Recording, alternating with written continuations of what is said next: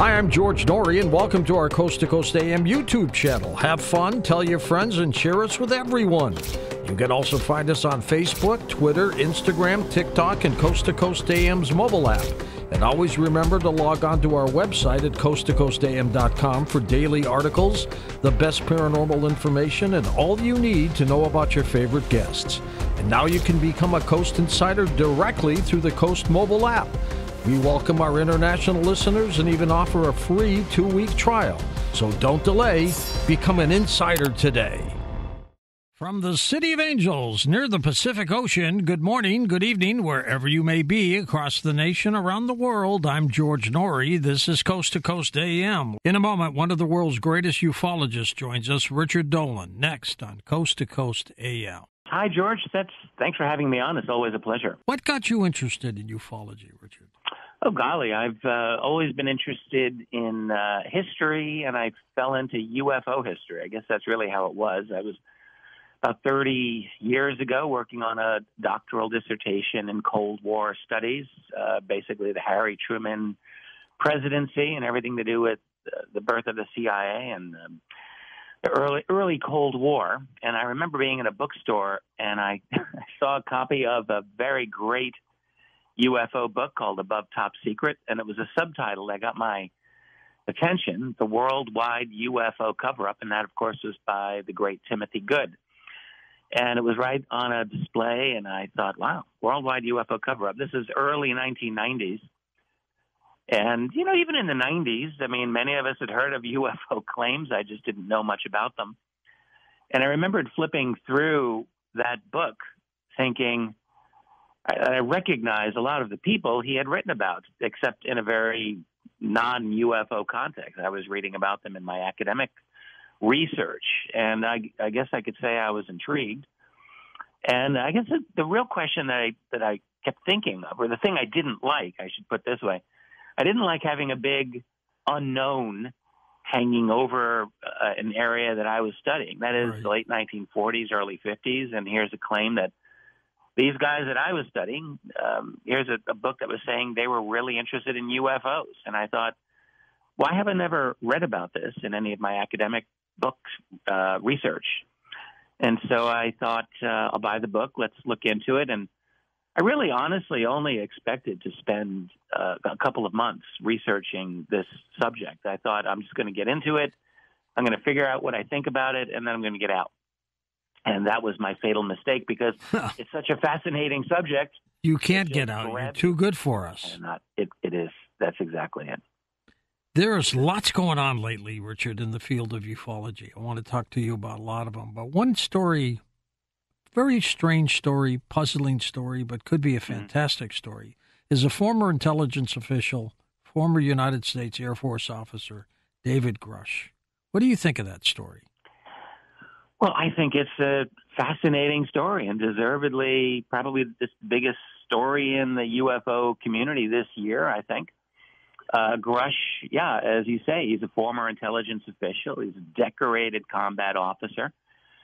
And the thing about him is that he, he was explicitly described as a whistleblower. That's a phrase that gets, I think, it tends to get overused.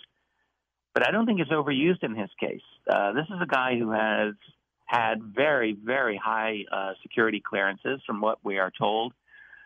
And he, uh, in fact, had worked with the National Reconnaissance Office, the NRO. It's very, uh, you know, very interesting. The National Geospatial Intelligence Agency as well. And he was part of the UAP task force for two years, from 2019 to 2021. And so he was in a very good position to, to say the things he did. And, and what he said is that the U.S. government, uh, U.S. government allies, uh, defense contractors also, that they have recovered partial fragments and uh, intact vehicles of non-human origin and have been doing this for decades. So that's the ultimate crash retrieval bombshell statement that I think many of us have been waiting for for a long time, and he's coming out and he just makes makes this statement. Uh, do you think he's Do you think he's legit?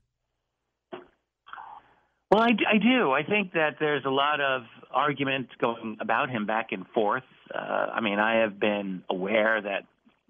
Uh, I mean, there's claims of people saying, "Well, I don't trust him. He's another government guy. Uh, is he going to show us the goods?" We haven't seen any documentation. He hasn't really. All he's doing is repeating stories, and and that is true. But I'm I'm uh, drawn to what uh, journalist Ross Coulthart said about Grusch. Uh, Ross, of course, interviewed him at great length. And uh, if I'm remembering correctly, I think he, he used the phrase that he said there's a conga line of individuals ready to support David Grusch. In other words, a lot of very high level, important people who uh, speak on his behalf. I've spoken to a few folks myself who are very, very supportive of him. And I just haven't seen anything that is the ultimate red flag for me. It seems to me that he um, he's got the right background. He's he's saying the right things. He's not giving the world the kind of proof that the world would want. But it is my understanding that he has said some of these things in um, in camera or in in, um, in confidence to uh, members of Congress. And so I think you know where we're at is we want to take it from here and see where this develops. But I think so far he looks legit to me. Yes. One of the strange stories he talks about is that Italy's Benito Mussolini during World War II, that Italy picked up a non-human spacecraft in 44 yeah. or 45, and the Vatican knows yeah. about it, and we assisted. What do we know about that? It is very interesting. You know, there has been research over the last uh, decade or more out of Italy um, from their senior researcher, Roberto Pinotti, who I know has been investigating uh, this very scenario. At least I think it's the same one. Um, it's got to be. Uh, I would think so. And and in that case, although in in Pinotti, uh, I thought the case was from the 1930s. So you know, I don't know if there's a discrepancy there or not. But this is something that uh, when I first heard about an alleged Italian UFO crash, I I thought, well, I don't I don't really know how much credence to put into this, but uh, I do believe that a lot of the, the work uh, from the Italian ufologists about that does seem to have some uh, credibility to it. So I'm wondering if that is what Grusch is referring to. The real question I have about that is where did he actually get that that data point, that bit of information? Did this come from one of his uh, high level intelligence source, or are they just pulling this from the UFO research community. And I would love to know the answer to that. What's going on with Congress? Anything going on there? Uh, you know, my finger's not 100% on that pulse. Uh, I've I've chatted with a few folks who are following this, and I mean, there are there are people who believe that congressional hearings are absolutely going to happen this month. Uh, there is an interest in some members of Congress about this subject. I mean, it's very, very interesting that we have this state of affairs now. You know, a couple of years ago, you, I don't think you could have bribed a member of Congress enough to get them to be interested right. publicly to talk about this, but that's not the case now. And there is, uh, you know, particularly since Grusch has come out, I think that's revitalized uh, some members of Congress to look into this. There has been talk of a hearing whether or not it's going to happen is really the question. Um, I mean, I think it would be a good thing if we had genuine congressional hearings on UAP. I would like to see that. I think a lot of folks following this field would like to see that. Uh, part of me has the attitude of I'll believe it when I see it. To be perfectly honest with you, George, because I just I, I always feel like the United States uh, government has a great ability to snatch defeat from the jaws of victory when it comes to getting to the truth of UFOs. And uh, I I don't want them to continue that track record, but we'll just have to see. I would like to see hearings happen, and if they do, this is the really interesting element of the whole disclosure scenario. You know, 13 years ago, I co-authored a book, AD After Disclosure, and we, my co-author Bryce Zabel and I tried to puzzle out, like, a how could disclosure happen? And then if it did happen, what would what would happen next? What would the results be right. in our world? And uh, the one thing that I always assumed back then, this is back in 2010, was that there would be a, a really potential avalanche effect. So like one big truth comes out, and that just causes a whole cascade of other truth tellers to come out to tell their story, and then the next thing you know, the narrative is out of control, and it's we're in crazy town, and all the, all the stuff's coming out.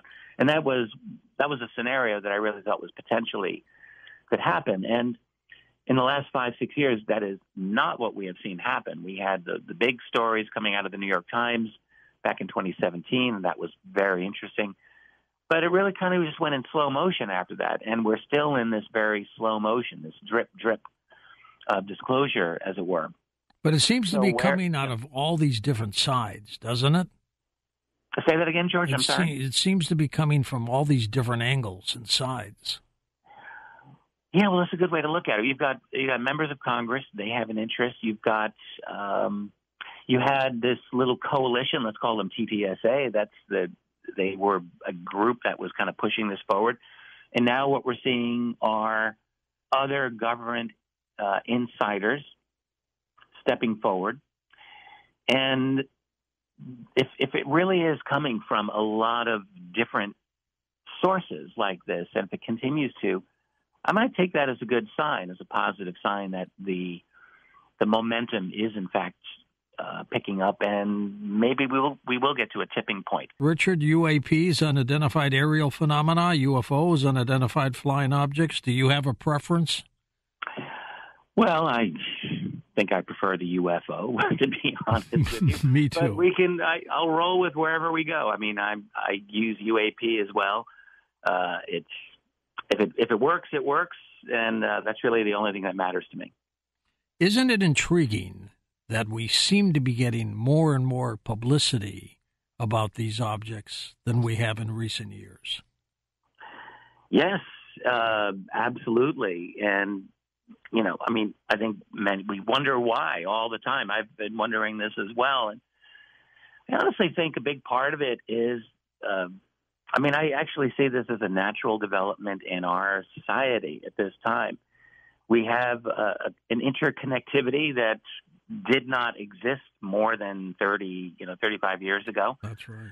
And I think it has just been, a, it took a little bit of time for the momentum to develop.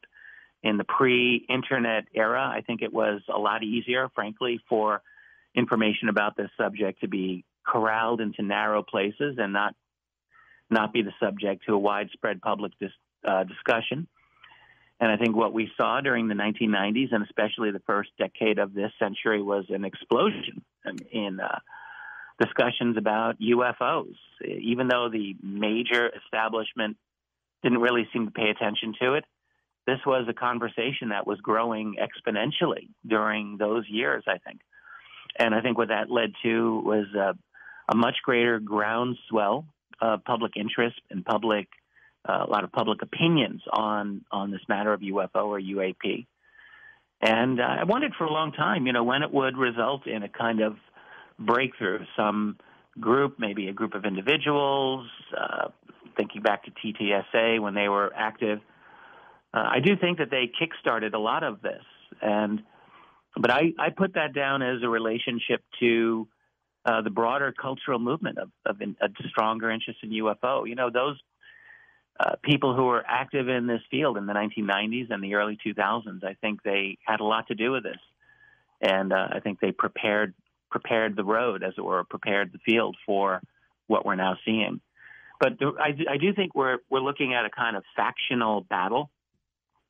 I don't think that we're looking at it, some kind of unified disclosure movement coming from within the government.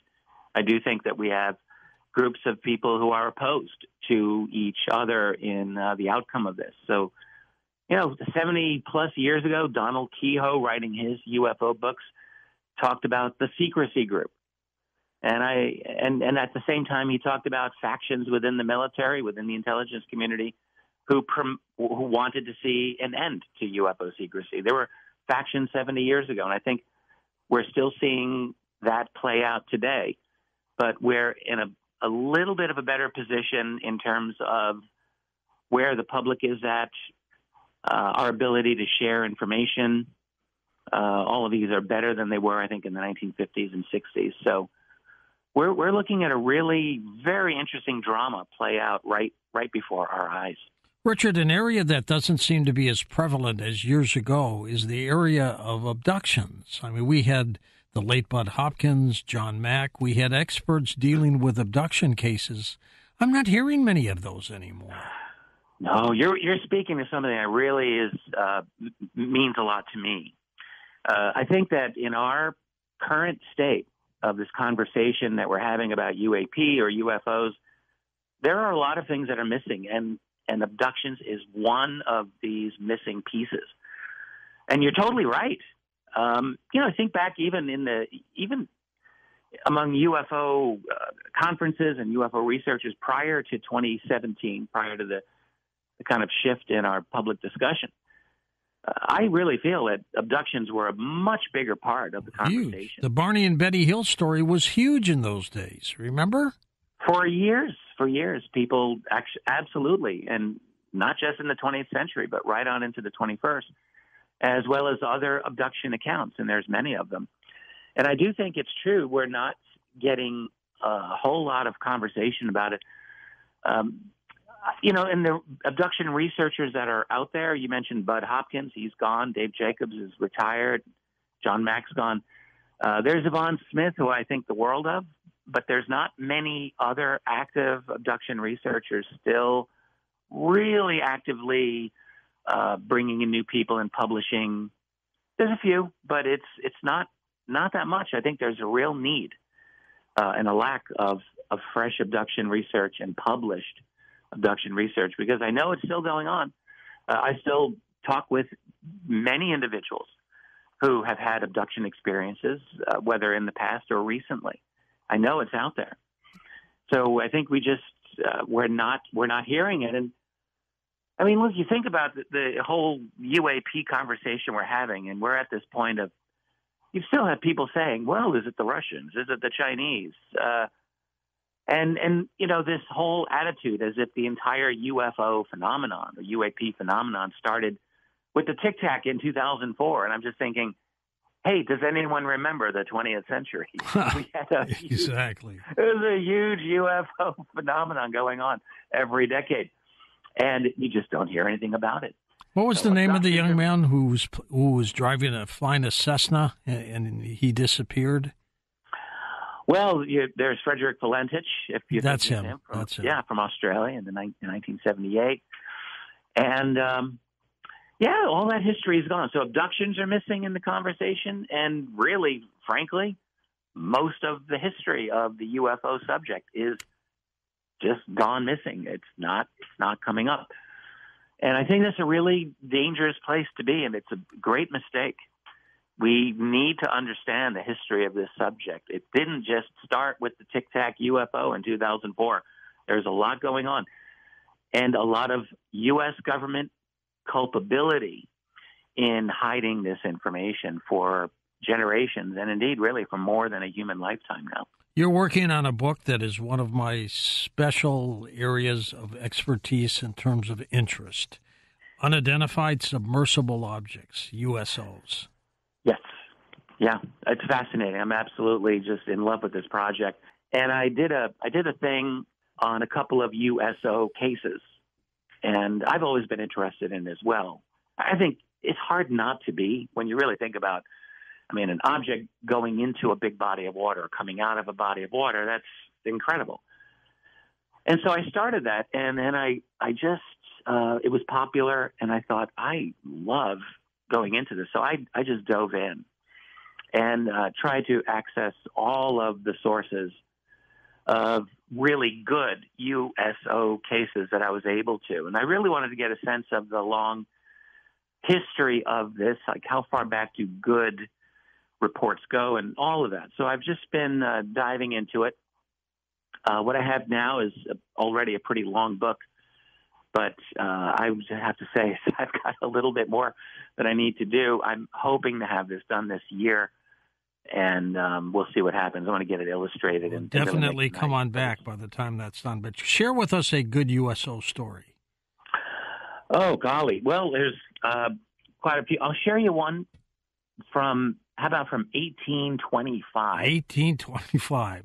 Uh, it's the it's one of the earliest great uh, USO stories that I came across, and it took place in the Pacific Ocean, uh, not far from Hawaii. And uh, one one of the reasons I like it is that we have an exact date for it. It's uh, August twelfth, eighteen twenty-five, and we know about this from the diary of one of the guys on the ship. It was a British ship. Uh, the British Navy, of course, dominated the world's oceans at that particular time. And this man was a naturalist on the ship named Andrew Bloxham. And what he wrote in his journal, let me pull it up right here. He said, about half past three o'clock this morning, so 3.30 in the morning. So you're in a British ship, sails. There's no, you know, no motors, nothing like that. They're just sailing by the wind. very dark. 3.30 in the morning, surrounded by ocean. He said, three, half past three, the middle watch on deck was astonished to find everything around them suddenly illuminated. And he said, turning their eyes eastward, they beheld a large, round, luminous body rising up about seven degrees, apparently from the water to the clouds. This is all his wow. writing. And then falling again out of sight. So it rises up and then drops. And then he says, and a second time rising and falling. He said it was the color of a red hot cannon shot and appeared about the size of the sun. He said it gave so great a light that a pin might be picked up on deck. That's out of his diary from 1825. And uh, it's one of those um, cases. I mean, this is in the days before we had MUFON investigators going out there saying, if you if you held a pin at the if you held a dime at the arm's length, how big would it be? how big would it they, be? they, they, weren't doing any of that. Uh, we just have this this one statement, but it's a heck of a statement. I mean, let's face it. And what I like about it is that he's he was a naturalist. He wasn't trying to look for any uh, unusual types of explanations. He was obviously baffled by it and, and simply recorded it. But there are some really great ones. I was just looking at one from um, British Columbia. This is from the early 1980s. I wonder if I can dig it up, but I can just recite it, I think, from memory. And we've had a lot of Navy sightings too, haven't we? Where sailors will see these things underwater, and they're not submarines. No, absolutely correct, absolutely, and and a number of them are associated with uh, major U.S. aircraft carriers. Uh, one of the main ones that seems to be just uh, was plagued by UFO and USO sightings was the USS Franklin Roosevelt. Uh, it was a, that was the first nuclear um, powered aircraft carrier, and there are just a variety of stories concerning the FDR with these uh, these objects. And you know the thing about them is you get stories from Navy guys. They've all retired. This is all after their career is over. And it's 20 years, it's 30 years later, and then they they tell you their story, you know. And so you can't. This is not from freedom of information. You don't have a lot of uh, government corroboration for it, but you've got a heck of a story from a, a naval officer or a naval a seaman who has something just fascinating to say. And uh, there's there's quite a few of them. There's quite a few of them. This one of uh, the FDR that I'm thinking of ha- happened back in 1954. I think the early part of 1954 when it was on its way back to being refit in um, in Seattle. It was coming, and it was commissioned in 1945, by the way. Yes, that's that's right. And um, the FDR was also part of what was called Operation Mainbrace in 1952. That was a series of NATO exercises in the North Sea, and they, that whole uh, group, experienced uh, days of UFO sightings of objects over them. Uh, the FDR was part of that. And two years later, it experiences an object apparently that came right out of the water and shut down uh, all of the communication systems on the ship for um, for a good half hour, uh, from what this one uh, Navy Navy officer said many years after the fact. Uh, they were just kind of blown away by it. Uh, there were people freaking out on the deck. one guy screaming, "It's God! It's the end of the world!" and what they saw was a a huge glowing orange uh, sphere, not that different than the 1825 case I was just mentioning earlier. Uh, this is a large spherical thing that um, apparently they encountered and just uh, and uh, actually, no, I'm getting my stories mixed up. That was the USS John F. Kennedy. With the FDR, they, they had the long star-shaped object. I'm so sorry that uh, came over the ship, then shot away, then came back down. A couple of objects came out of the water, joined the cigar-shaped object, and then that went into the water. I got mixed up. The glowing object was from 1971 USS John F. Kennedy in the Caribbean. So forgive me. So there's a lot of these aircraft carrier cases that are out there, and they all come from these retired uh, naval officers or, or, Navy Navy professionals. And none has been hostile, Richard. None. No, they haven't been hostile. They've but they've shut down the systems of the ship. I mean, you think about being on an aircraft carrier. You got 4,000, 5,000 people on there, and this object is hovering right over you, and you cannot communicate with any other vessel for 30 minutes or even an hour in one case. Uh, it's not hostile necessarily, but if you're a military professional, you might consider that a hostile act if they're disabling. I mean, my goodness, a U.S. nuclear aircraft carrier uh, could be considered a very provocative thing. But it's true, no overt attacks uh, that I've I've come across, but uh, a heck of a lot of interest and powerful capability. Let's go to the phones. Let's start by going east of the Rockies. Alex in Boston, Mass. Hey, Alex, welcome. Hey, how you doing? Great. Go ahead, buddy. So uh, there's a 1562 AD woodcut um, that shows uh, an, a scene, a woodcut um, carving that was printed out, and uh, it, it, it, this was over Nuremberg, Germany. And I'm just kind of asking uh, if people have considered the the history and the different types of um, uh, you know evidence that we have already that that shows these um, UFOs that that are out there. It's it's pretty interesting because you know they've got cigar shape, these red balls, and even you know more mysterious is this black spear uh, looking element uh, in, in, in the in the woodcut. Well, we're talking about ancient artifacts, and Alex is absolutely right, Richard. They're out there and they're all over the place. Yeah, it's interesting. The Nuremberg woodcut has gotten a, a great amount of attention, and uh, I'm just going to say I, I don't discount it, but I do think that one thing we, we want to do when we look at these ancient stories is try to understand – the history of the region uh, around them. And I'll just point out in the case of Nuremberg, Germany, uh, 1560s, you're talking about uh, the beginning of massive uh, religious discord going on throughout Europe and particularly in Germany and particularly in that region of Germany. There's a lot of fighting already happening. And the, the question is is the activity monitoring the fighting or what you do get with a lot of these cases are ancient writers who were looking for portents and signs in the sky. This is a very, very common thing. Um, and it's very difficult for me when I look back just to see is this is actually is this legitimate? And I'm just going to be very, very uh, blunt about it. And the Nuremberg case is one that I'm, I'm not 100% sure that it is. So, hate to say that because I know we have a lot of uh, people wanting to support it.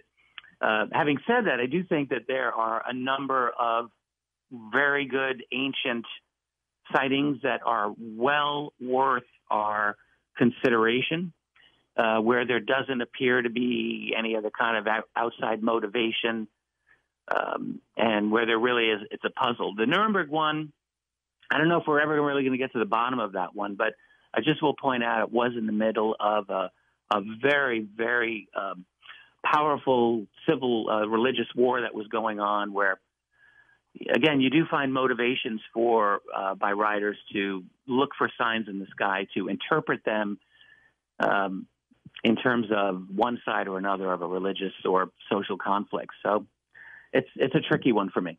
Richard, where do you think these objects are coming from? If you had to guess. If I had to guess, I, I think they're coming from another planet in another part of the universe. Not dimensional or anything like that? Well, I don't think dimensions are irrelevant. Um, you know, hey, Arthur C. Clarke said, I think with any sufficiently advanced technology, it, it's, it, you know indistinguishable from magic, right? Didn't he say that?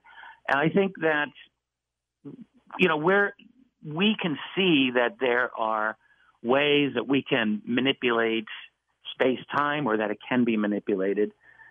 And, uh, you know, we certainly have seen behaviors of these objects that do lend um, at least an idea toward interdimensionality.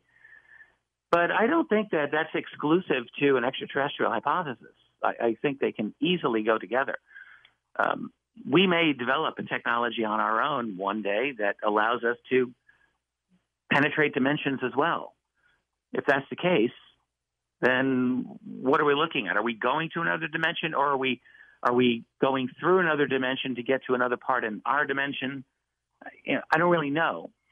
But um, when I look at the, uh, the, the beings that are described by uh, experiencers and witnesses, they're they have bodies, they're physical, they have arms, they have legs, uh, they have a, a, similar body plan to us, and I think that would actually speak to being uh, something that evolved in our our physical universe. I agree. That's what I think. Yeah. I agree. Thomas in La Jolla, California is with us. Hey, Tom, go ahead. Hi, George. Thank you for accepting my call. Richard, you are doing great research. Thank you very much. I have a comment and then a question. I'm throwing out a date for you. May 22, 1949. And on that day, the Secretary of Defense, who was James Forrestal, mysteriously died. And um, he was mysteriously hospitalized. And then at the hospital, allegedly, he committed suicide by jumping out of a 17 story hospital window down to the hard pavement below and dying, obviously. And uh, I look at that, and at the time, nobody in Washington, D.C. believed it.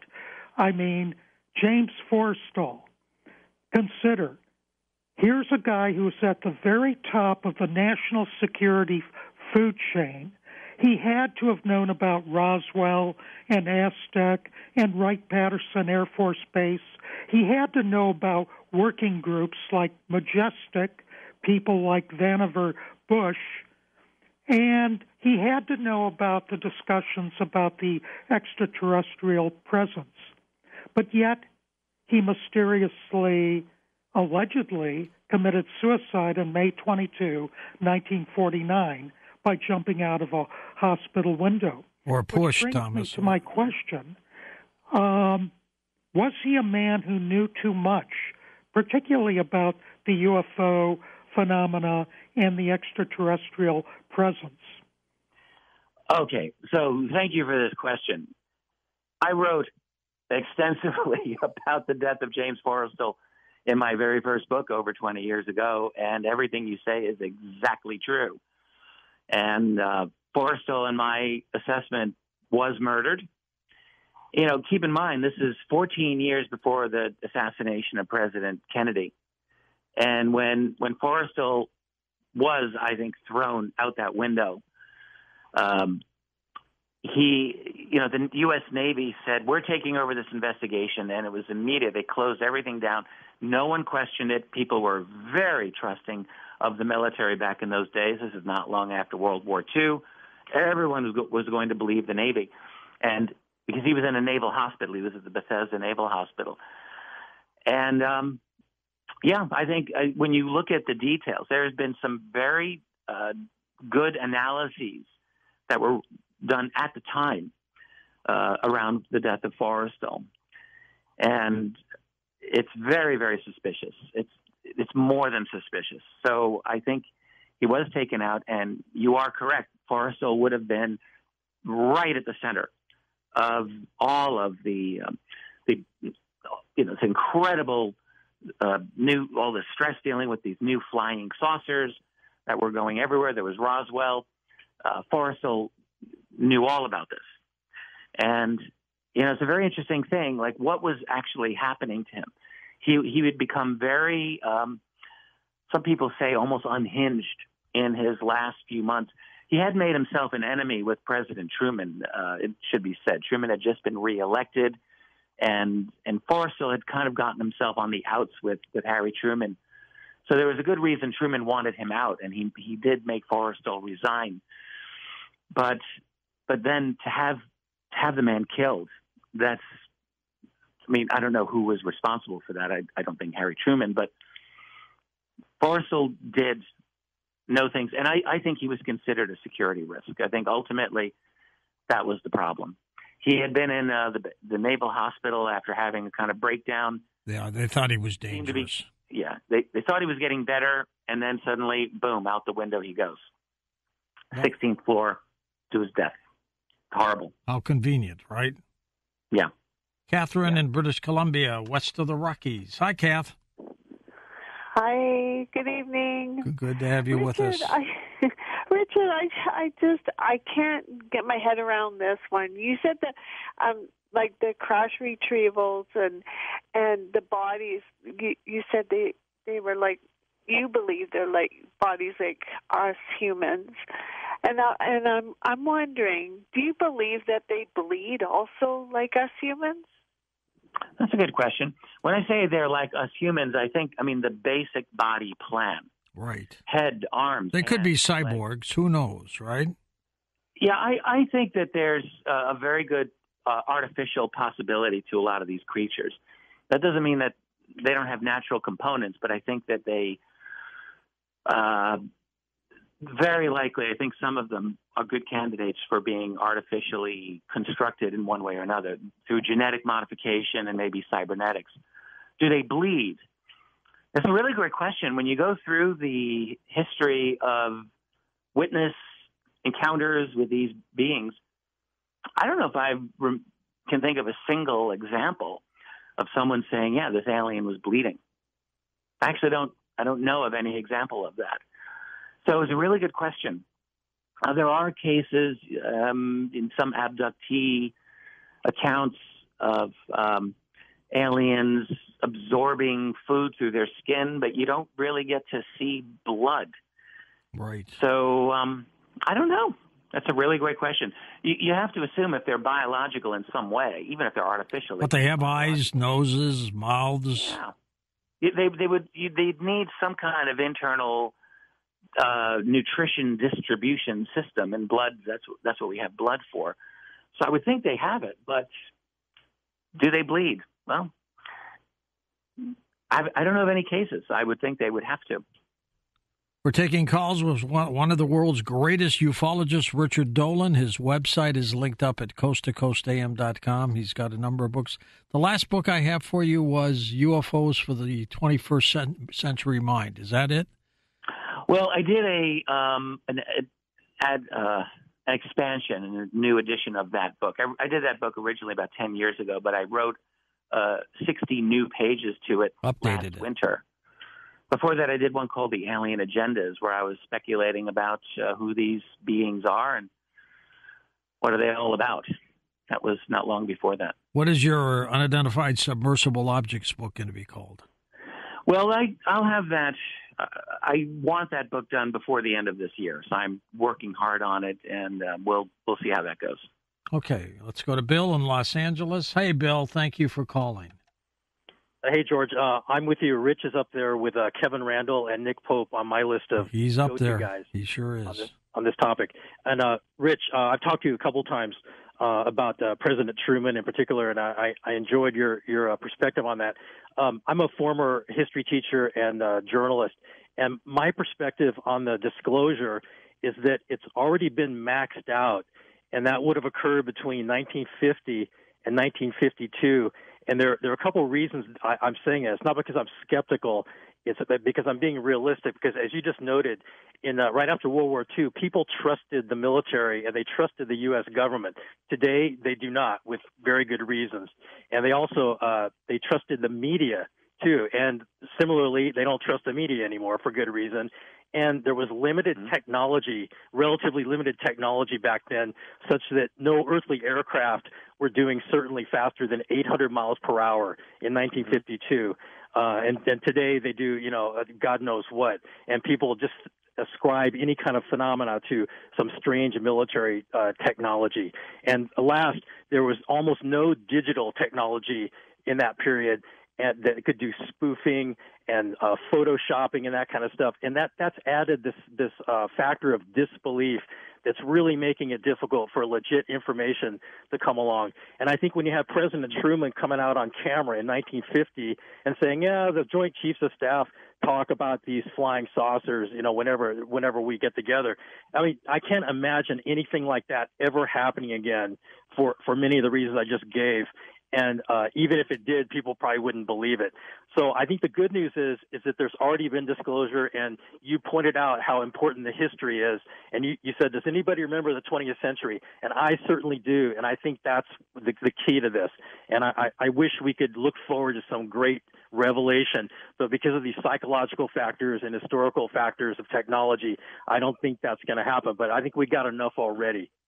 Thoughts, Richard? Oh my God, man! What a great comment. I, I agree with every single thing you just said there. Uh, I just want to follow up and and uh, and emphasize that we our culture today is in a much uh, in some ways a much more difficult position for the reasons that you state. There's no trust. Uh, we all wonder about this. Whether, no matter who is president, because whoever's president, the other half of the country is going to hate the guy you can make a, a statement, and they'll just be like, "Oh, that's nonsense. I don't believe you." Uh, it, it's very difficult now. I actually agree with a lot of what you say, and then in terms of uh, getting the evidence together and uh, making it a, a making a good case for it, it's it's there's a lot of trickiness about it these days that did not exist in the 1940s and 50s. It's absolutely true. Whether that makes it impossible is another question, but I think you make very good points. Richard, what do you think of the Roswell crash story? I, I think the Roswell crash is a very good case uh, and was, yes, something non human, extraterrestrial. I do absolutely agree that. Um, I think we've, we've had enough time, enough witnesses over the years who have been, I think, very credible uh, from a whole variety of angles, too. Not just eyewitnesses, but you've had a lot of military people. There's the uh, interview by um, was it Kevin Randle with Thomas DuBose, who said, "Yeah, that that that was a cover story, uh, long in his retirement." And you just got a whole bunch of people when you look at all the points of evidence about Roswell. I think it's very difficult not to conclude that this was the recovery of a non-human craft with with non-human bodies. That's what I believe. And they changed the story, didn't they? Come out initially and say a flying saucer had been recovered. Yeah, that's right. That came out immediately. That was out of the office of uh, uh, General Blanchard out of Roswell Army Airfields uh, through his public relations um, person, Walter Haut. And that was that was pulled, and we know the story about that. We know that uh, they were ordered. Uh, you have the case of the um, guy at the radio station. It was Frank Joyce, I think, and he said that we we actually got a phone call from Washington saying, "Stop this! You are not to transmit this story anymore. Uh, all of these things. And so that was pulled. They come up with the weather balloon story, of course, which we all know about. And, uh, and that was 30 years. Uh, it took 30 years after that for the, uh, the truth to come out when Stanton Friedman met Jesse Marcel. That's right. And uh, revived it all in the late 70s. I miss him, Stanton, don't you? Oh, golly, absolutely. He was one of a kind. He was great. Stephen Albany, New York. You're up, Stephen. Go ahead. Hey, George, thanks for having me back. Thank you. I have had so many experiences that uh, you've covered tonight. Uh, it started when I was like in my crib, when I was just a, a toddler. Uh, I looked up, I saw three, uh,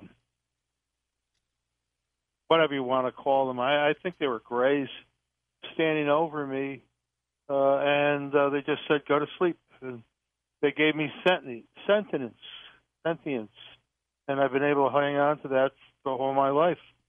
That's Um, fascinating. um, I've had experiences in my dreams. I used to be, I felt like I was being pulled out or pulled up, and then I realized that I was being abducted in my sleep. They've had they've had me for years, uh, but I've had three.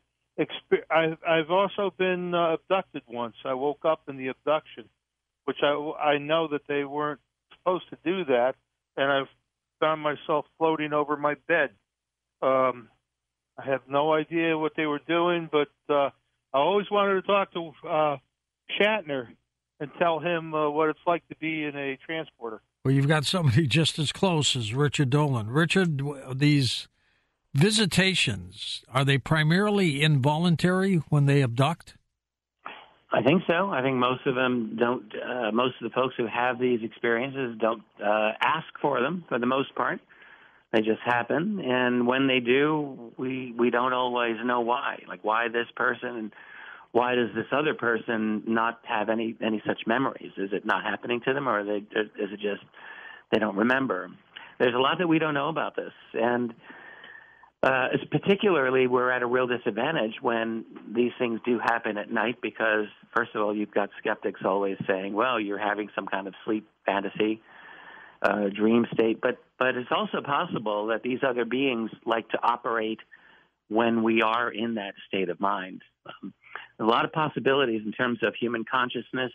You really have to wonder is it easier for them to deal with us when we're in uh, cl- something closer to a sleep state um, You would think so. yeah, yeah, you know, there's a lot of things going on here that are very difficult for us to understand, and we're we're dealing with, you know, keep in mind, an intelligence, a group of uh, a society that is beyond us in many ways. Uh, we're not on their level, and we struggle to understand exactly how they do what they do, how they're able to manipulate us. There's a lot of cognitive manipulation going on in these experiences. That is for sure when when people have a, an abduction experience, I would just say um, there's always the argument, oh, you know, there's something wrong with you, you're crazy, this or that.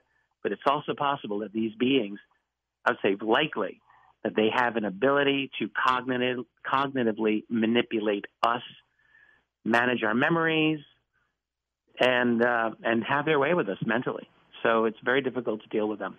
Let's go to Carrie, first time caller in San Juan Capistrano in California. Hello, Carrie. Thank you for calling.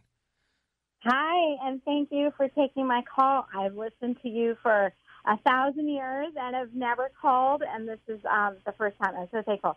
Okay, um, Richard. Um, so my question is: I saw a UFO hovering like a gold blimp in the broad daylight, driving on the five south, going towards San Clemente, and it was this dirt path off the side of the freeway where cars we and it was traffic, thick traffic, five south. So it had to have been summertime, 1992 or 93, and plenty of cars. We pulled off into the dirt to look at this gold blimp, but it wasn't a blimp.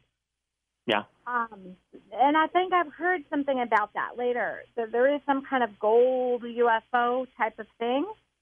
Sure. Did, did you say San Clemente? I was on my way to San Clemente, and but we pulled off on this dirt, big patch of dirt um, uh, overlooking Dana Point.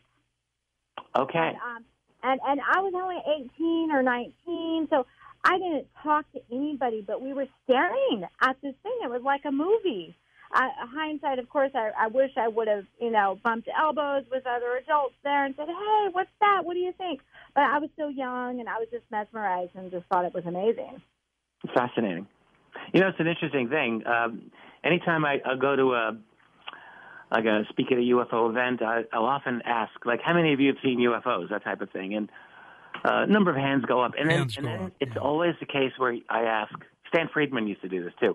You'd ask, how many of you reported it somewhere to some uh, official group like N- MUFON or whatever? Hands very go few, down. Very Yeah. few. Exactly. and it's it's a weird thing where you get all of these witnesses and and it's typical that like no one no one reports it and frequently they don't even talk about it after the fact i mean this this is a strange strange thing uh, you're in an area, or you were in an area, where I think that there's a lot of uh, UFO activity that's been recorded. Uh, just so, and uh, the object you describe, I, I think is quite fascinating. And the real question that I like to ask these days is, what are they doing? What are they doing hanging out over there? Are they are they doing this for our benefit to show us something, or are they in the middle of going from one place to another? And if so, where were they coming from? Where are they going to? They must have an infrastructure of their own, uh, a society, even if they're here visiting, even if they're here doing whatever. And I wonder about this all the time. I'm just fascinated by the question. I don't have any answers, but I think that they have a very substantial presence here that, for the most part, they are successful in concealing from us. Richard, what do you think of the theory of the late Zechariah Sitchin that a group of ETs came here, seeded us because they wanted worker bees? Yeah, it's an interesting one. I I do think that there are there are oddities about our uh, development as a species. Uh, for the longest time, you know, human-like beings did exist for a very long time, and uh, the light bulb in our brain wasn't switched on, as it were. It was at a much lower level, and then we did seem to go through a very dramatic transformation. But uh, Sitchin's theory. Um, I'm going to be honest and say I'm not a not a huge fan. I know that there are folks who really strongly support this notion that 400,000 or 500,000 years ago they took human beings and worked them um, to get gold and, and this type of thing. My my issue with it is the ability of the ancient Sumerians, who lived about 6,000 years ago, accurately to record this type of information on their tablets, and I'm, I'm just not quite sure about it. But I do, I do, I'm very open to the idea that we have been observed for a very long time. I think that's quite quite possible and probably likely. And figuring out the details is still tricky. Sitchin's work is interesting, but uh, you know, keeping in mind too, when he wrote back in the 1970s and 80s, our understanding of paleoanthropology was very, very low compared with where uh, that field has gone in the last 20, 30 years. So I'm, I'm just not sure I, what I think about Sitchin. Let's go to Bob in Indiana, east of the Rockies. Hey, Robert, go ahead. Hi, George. Thank you. Sure uh, thing. Uh, Richard, I met you at your first and my only UFO conference in Laughlin a long time ago.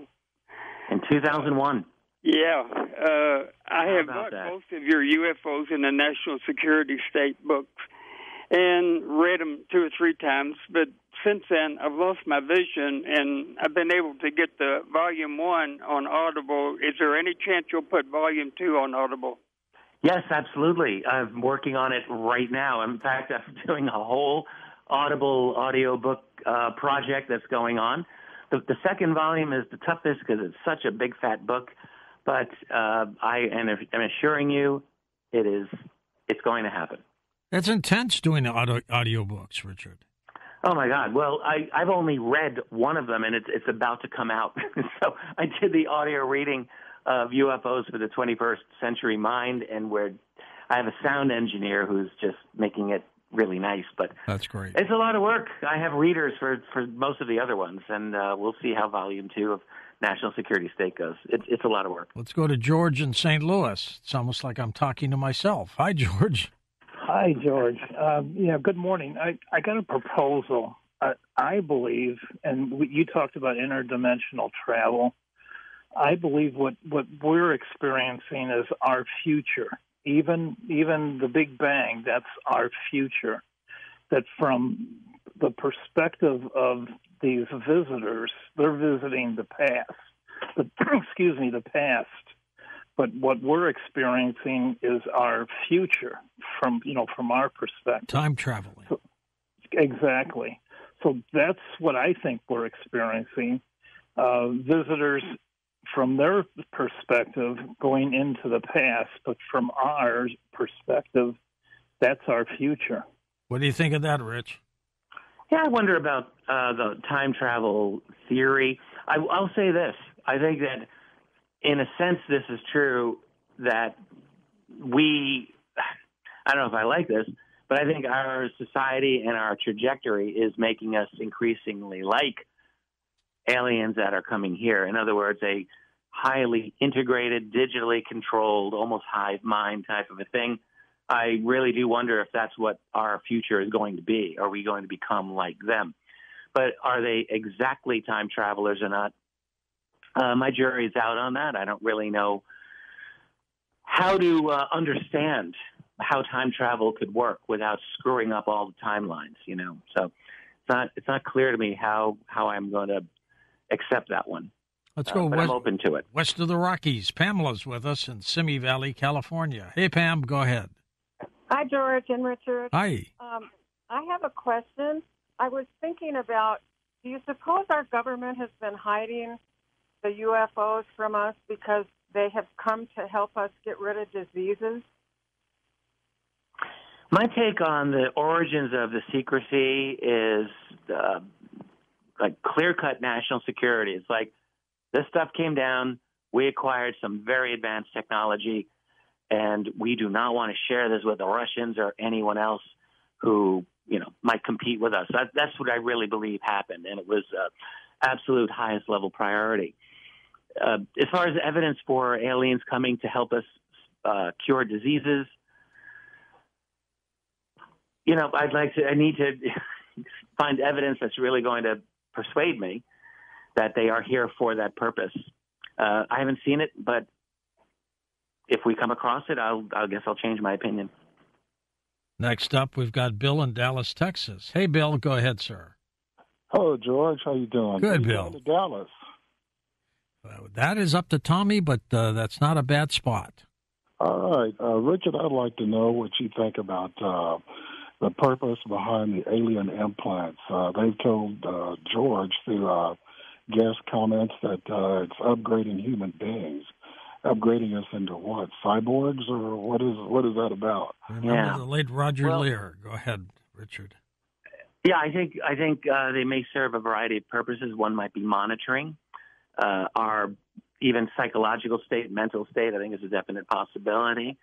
Uh, tracking device, that type of thing, for sure. In terms of upgrading us, yeah, it's a possibility. I suppose. I um we're speculating here, but th- there's definitely a uh, a desire. I think, at least when you look at the hybrid phenomenon for them to either create a new form of human, a hybrid human that will allow them to be here. I think that's a definite possibility. So I think there's a good chance that they're modifying themselves so that maybe they can live here. If they co- if they come from another planet, they're not going to be initially suitable to live here. There's solar radiation's different, gravity's different, all these bacteria are different. So they would need to be compatible with Earth's ecosystem to begin with. And that would require them to hybridize and to become maybe like us, like the leading species on the planet, human beings, and fit in. Is that a possibility? Are they upgrading us? Upgrading is a really loaded word. Does that mean they're making us better? I don't know. Or are they just changing us? We are definitely changing. I think the human species is going through very significant uh, evolution. Evolution doesn't stop, and I think we're going through a, a, a speeding up of it. To be honest, uh, whether that's being caused by them or by the transformation of our own society is another question. The Coast mobile app is now available for download on iPhones and Android devices. You can become an insider directly through this app. This is a great option for our international listeners, and new users will also receive a free two week trial.